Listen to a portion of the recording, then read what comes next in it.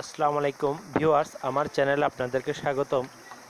আমি আজ তিরিশ দিন পর আপনাদের কই মাছের আপডেট দিচ্ছি।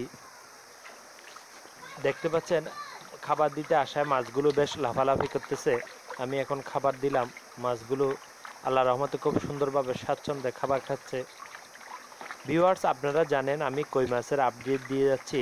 আমার চিন্তিত নতুন একটা পদ্ধতি W C S system water changing aquaculture সিস্টেমে আমি মাছটা লালন পালন করতেছি।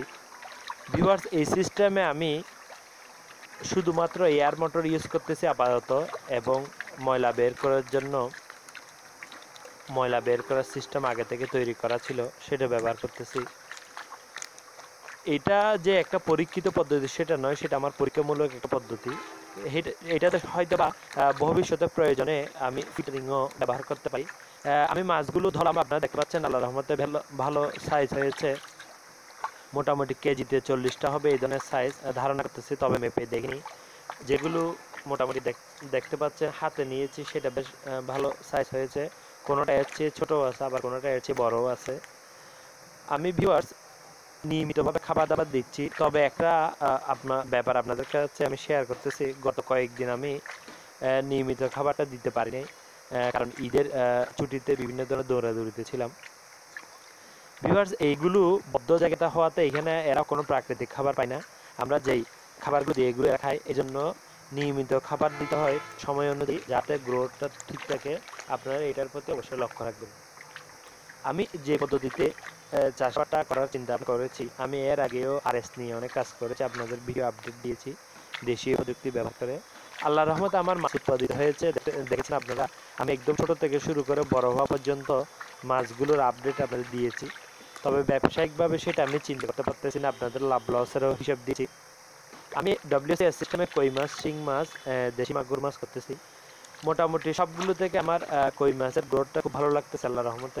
খুব বেশ ফাস্ট গ্রোথ লাগছে। দেখি শেষ পর্যন্ত আপনাদের আপডেট দেওয়ার চেষ্টা করব। এছাড়াও ভিউয়ার্স এই সিস্টেমে এটা আগে আমি করেছি সেটা নয়, সেটা আমার একটা ধারণা বা চিন্তা ভাবনা বা আর এস থেকে পাওয়া অভিজ্ঞতাটাকে আমি কাজে লাগিয়ে সহজে যাতে মানুষ বাড়ির আঙ্গিনায় অন্তত একটা ট্যাঙ্ক তৈরি করে শৌখিনভাবে হোক, তার পারিবারিক চাহিদা মেটানোর জন্য হোক, যাতে সে মাছ চাষ করতে পারে। মাছ চাষের যে তার একটা ইচ্ছা, সেটা সে যাতে করতে পারে সেই চিন্তাকে আমি এটা চেষ্টা করতেছি। এবং এটাইও চেষ্টায় আছি যে যদি এটা আরেকটু কিছু পদ্ধতিকে মডিফাই করে যদি আমি ব্যবসায়িকভাবে যদি করা যায় সেটাও আমার চিন্তায় আছে। তো আপনারা ভিউয়ার্স দোয়া করবেন হয়তো বা আমার কথাবার্তা কাজ করবেন, যদি কোনো ভুল ভ্রান্তি হয়ে থাকে আমাকে ক্ষমা করে দিবেন, আমাকে কমেন্টের মাধ্যমে পরামর্শ দিবেন। আপনারা আমার মোবাইল নাম্বার চান, আমি দিতে পারি না। আসলে এটা তো আমার প্রফেশন নয়, আমার প্রফেশন অন্যটা। তো আমি এগুলো আমার কাজের ফাঁকে ফাঁকে করি। অনেক সময় ব্যস্ত থাকি, হয়তো বা আপনার রিং দিলে ফোন করলে আমি কথা বলতে পারব না।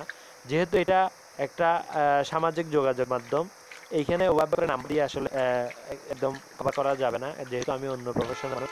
এজন্য আমি আপনাদের কাছে আন্তরিকভাবে দুঃখিত। আপনারা আমাকে ভালো মন্দ আপনাদের জানার প্রশ্নগুলো কমেন্টে লিখে জানাবেন। আমি সাথে সাথে না হলেও একটু পরে করে উত্তর দেওয়ার চেষ্টা করব।